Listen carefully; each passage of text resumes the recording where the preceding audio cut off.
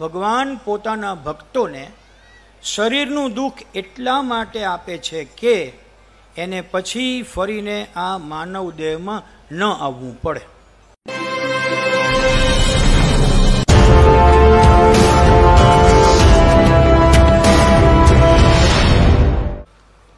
દુઃખે દુઃખી થાય, પણ બીજાના પોતાના દુઃખે ઓછા દુઃખી થાય. મારી પાસે નટવરભાઈ ચિનોઈનો એક પ્રસંગ છે. આખું નથી વર્ણન કરતો. પણ એમને ઘરે હતા અને મોટા પડી ગયા. કમોડ ઉપર બેસવા ગયા અને પડી ગયા. અને થાપાનું હાડકું ભાંગ્યું. સર્જરી વગેરે થયું હશે. પણ એમણે કોને બોલાવ્યા? હવે જરા જોજો સાહેબ. સાઠ માતબર ગ્રંથો લખનાર પૂજ્ય મોટાને હું તો સાહિત્ય રત્ન કહેવા માગું છું. સાહિત્ય રત્ન એટલા માટે કે અને હું વાત ઉપર આવીશ. છંદોબદ્ધ રચનાઓ આટલી સુંદર રીતે કોઈ સાહિત્યકારે રચી નથી. એણે ગુજરાતી સાહિત્યના સમર્થ સાહિત્યકાર કિશનસિંહ ચાવડાને મગાવ્યા. કિશનસિંહ ચાવડા એટલે અમાસના તારાવાળા. એને બોલાવ્યા મળવા. કિશનસિંહ ચાવડા આવ્યા એટલે પૂજ્ય મોટાએ કીધું, એલા, જવાબ દે. તો કે, શું જવાબ દઉં? તો કે જો ને આ મેં તારા બાપ, ભગવાનનો બાપ માર્યો તો કે એણે મારો પગ ભાંગ્યો? કિશનસિંહ ચાવડાને કહ્યું, મેં તારા ભગવાનનો બાપ માર્યો તો કે એણે મારો પગ ભાંગ્યો? કિશનસિંહ ચાવડાએ જવાબ આપ્યો પૂજ્યશ્રી ભગવાન પોતાના ભક્તોને શરીરનું દુઃખ એટલા માટે આપે છે કે એને પછી ફરીને આ માનવ દેહમાં ન આવવું પડે. મોટા બોલ્યા, એવું છે? પાકું? તું ખાતરી આપસ? તો કે હા, તો કે આ મિનિટથી આ દુઃખ ગયું. અને એમ કહેવાય છે કે આ પ્રસંગ પછી એને કેટલા કેટલા દર્દો થયા એણે કોઈ દી ફરિયાદ કરી નથી. એમના દર્દો મારે ને તમારે ગણવાની જરૂર નથી, પોતે ગણાવ્યા છે. કે પાંચ હજાર રૂપિયા આપીને ક્લિનિકમાં મારા શરીરને તપાસો તો મગજમાં ઝામર છે, આંખમાં ખીલ છે, ગળામાં ઇન્ફેક્શનથી સોજો છે, રોજ બળતરા થાય છે, સૂતી વખતે અને બપોરે હું બળતરામાં જોઈ જાઉં છું, ગળાનું દર્દ છે, પછી આ દમ તો દેખીતો છે, આ અનિયમિત લોહીનું દબાણ, અનિયમિત નાડી, મોટા તમારી નાડી સો છે એવું ડૉક્ટર કહે છે.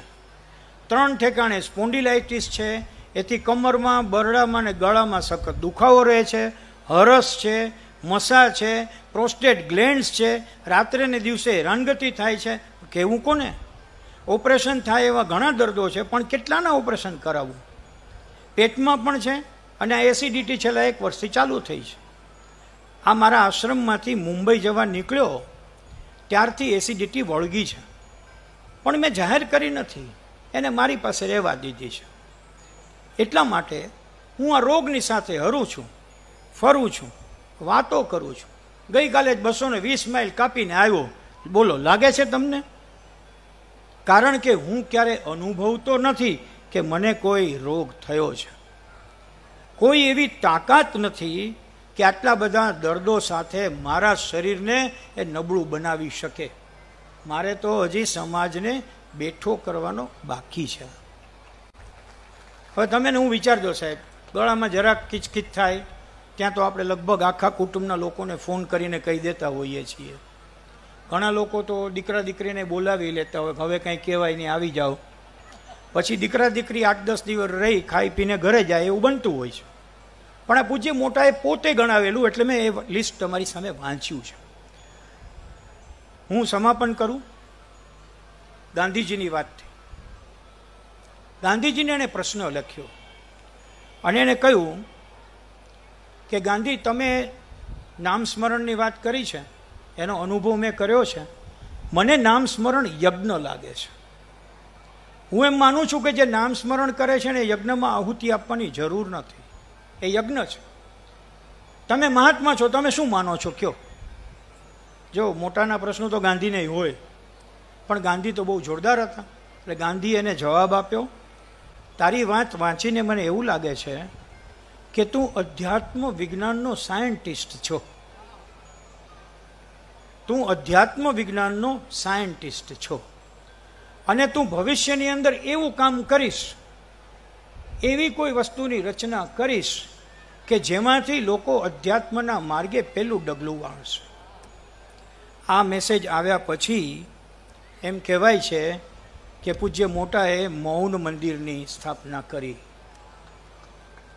અને જે મૌન મંદિરો સ્થાપ્યા, એમાં જે બેઠા હોય એને ખ્યાલ છે કે તમારી જાત સાથે વાત કરવાની, જાત ભણી જાત્રાનો એ પહેલો પગલું હોય છે.